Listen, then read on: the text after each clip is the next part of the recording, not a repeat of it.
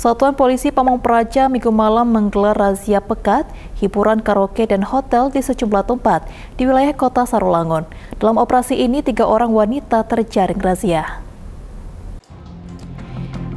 Di wilayah kota Sarolangun, Satuan Polisi Pamong Praja melakukan razia tempat hiburan karaoke dan hotel yang diduga dijadikan tempat ajang mesum oleh pengunjung. Sejumlah pengunjung dan pekerja tempat hiburan malam ini diperiksa petugas. Barang bawaan dan identitas diperiksa satu persatu.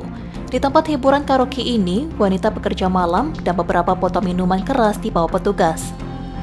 Kasat Pol PP Muhammad Idrus mengatakan, penertiban tempat hiburan karaoke dan hotel di wilayah kota Sarolangun ini dilakukan sesuai dengan Perda Kabupaten tentang ketertiban umum serta dalam rangka menjaga wajah kota Sarolangun tetap indah, nyaman, dan aman. Apalagi saat ini bertepatan dengan momentum acara Akbar MTQ ke-52 tingkat Provinsi Jambi dan Sarolangun sebagai tuan rumah.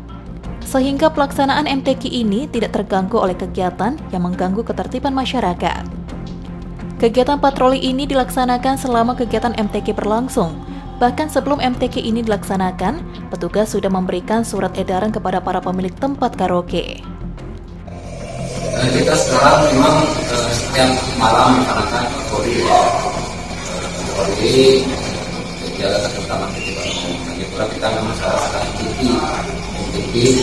kejadian orang desa rumah nah sebelum MTQ kita sudah membuat surat edaran kepada seluruh pengelola hiburan ya.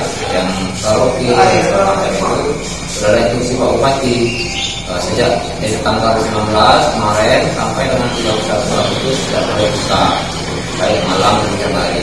Supaya kita menghormati tamu-tamu kita yang sedang datang dari kabupaten kota mereka sedang berlomba bersama pertemuan ini dengan agama dengan Islam dan juga ini dimulai oleh hal-hal yang mengganggu kita Tempat hiburan malam seperti karaoke dan hotel akan diberikan sanksi tegas apabila masih melanggar. Kendati para pemilik tempat hiburan karaoke masih saja membuka dan tidak mengindahkan surat edaran tersebut, sehingga petugas melakukan penindakan dan pendataan serta sanksi efek jerah. Bagas Setiawan, Cek TV melaporkan.